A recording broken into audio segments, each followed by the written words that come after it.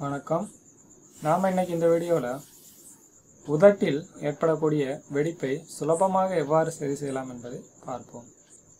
கரும்பு தொகையை எடுத்து அதனை எரித்து சாம்பலாக எடுத்துக்கொள்ள வேண்டும். அந்த சாம்பலை வெண்ணெய் அல்லது தேங்காய் எண்ணெய் கலந்து வெடிப்பில் போட்டு வந்தால் உதட்டில் ஏற்படக்கூடிய வெடிப்பு குணமாகிவிடும். நன்றி.